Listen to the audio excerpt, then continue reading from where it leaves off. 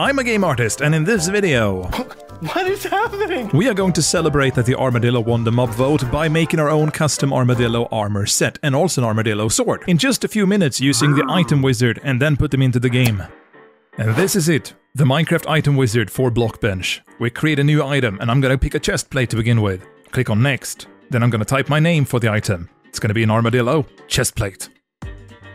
Then I'm gonna set it to wearable and change the protection to be super strong, because that's what it is. Increase the durability, so it's really resistant, and also make sure that we repair it fast. Ignore the icon glint, and then export it to a folder. Pack name is going to be Armadillo Armor, and me as the creator. Now it's already packaged in the game, but we're gonna edit the items to look the way we want them to look. So, there we go, it's exported, and now we're gonna open up the models. Here we change the look of the icon, and here we change the 3D model. So let's do that. For simplicity's sake, I'm going to first remove the texture. Delete that. Boom. Gone. Alright, now let's take a look at the rig, the folders we have here on our right. I recommend not touching anything but these inner three cubes, because they are the armor. Then I'm gonna make a new cube and move that up to the shoulder. Increase the size of it, because this is gonna be an armadillo shell piece. Change the chest a bit and then also add another part of the arm. Remove the inner cubes and then make my own texture, which I will set to 32 by 32 resolution. And that is a good resolution because it gives you more pixels to paint with and let's wrap up the shape, add some outlines and also remove the stuff in between with the eraser tool. Finish off these elbow guards and then work on the chest plate. Add these folding ridges over the belly and then simply wrap up the rest of the texture for what's going to be underneath the armor and also the armor top itself, coloring in the final pieces all around the space. And that's it. That's the armor chest piece. But I believe it lacks something, so let's add a tail on the rear end. An armadillo tail, there we go. And then we export the geometry to the game by go export, export bedrock geometry, and then locate the file in the resource pack, and then just save it over. I'll add some info about the com.mojang folder down in the description. And we can't forget to save the texture as well, and we need to do that in a slightly different folder. So under the package, we go to textures, entity, and then we save over the attachable texture called whatever our armor was supposed to be. Then I'm going to open up Photoshop and just quickly clean up the file so that I don't have any of these unnecessary textures painted. I will rework the icon by painting it to look more like my actual chest piece, and then just fancy it up a bit with some colors, trying to make it look somewhat like the model that I made. And then when we feel like we're done, just click on save next by the texture. Oh, um, this is awkward. Oh, ah, it's about the thing on the server, right. Well, that time is probably up by now, so let's jump into the game. Hi, and welcome to a really boring flat world, and a really fancy mustache, and also the inventory, because now we're gonna pick out the armor chest piece. Here we have it, armadillo chest plate. I'm gonna put this on. Alright, here goes nothing. Oh, that actually looks pretty decent. If I turn around, do I see my tail? Oh yeah, I have a tail. Look at that. A tail on the armor. Nice. Hmm, actually, I made another thing as well, just for fun. You ready? Let's jump into the helmets and pick this armadillo helmet. Let's put that on.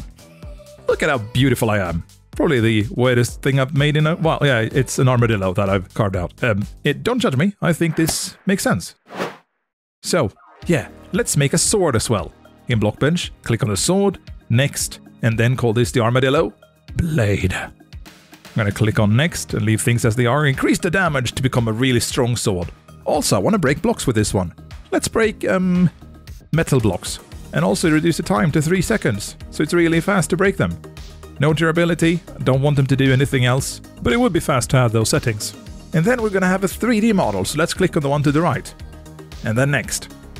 Now, I'm gonna integrate this to a pack and add this to my Armadillo armor pack. Here we go, and then go on next. Now, icon or model? Let's start with the model.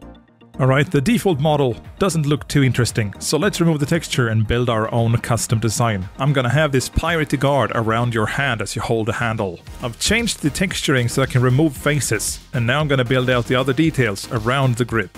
Add another geometry part to the blade, and now let's texture this all. I'm gonna work with the same colors that I did for the armor for most parts of the sword except the blade, just filling in with really thick and flat colors, adding the things around in the places where I feel like they make sense. We're gonna work with a grey blade, make it look sort of steely with a sharp edge. And to get it looking really sharp, let's remove that extra material by the edge so it's a nice pixel eraser. And here in the animate tab we can now change what the layout of this is in the first person view by clicking on the center camera button.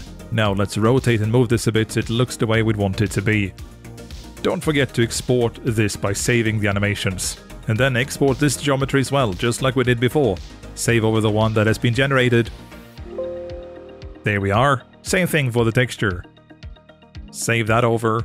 Find the texture in the package by textures, entity, attachables, and your sword. Save over that. And I think we're pretty much ready. Let's jump back into Minecraft, put on the armor once more, and let's watch all of this in action. I'm gonna go to swords. And look here, we have the Armadillo Blade. 12 damage, that should suffice, and it sits snug in my hand. Look at that sharp blade.